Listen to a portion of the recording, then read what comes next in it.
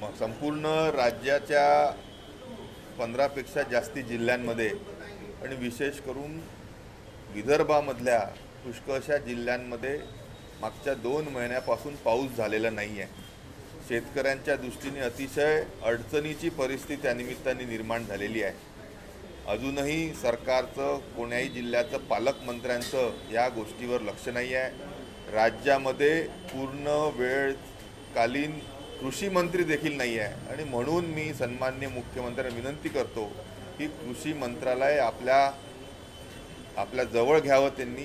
आणि ह्या संपूर्ण जिल्ह्यांमध्ये कोरडा दुष्काळ जाहीर करून शेतकऱ्यांना भरीव असा मोबदला सन्मान्य मुख्यमंत्र्यांनी तातडीने अगर सच्चाई बोलना बगावत है तो फिर हा मैं बागी हूँ.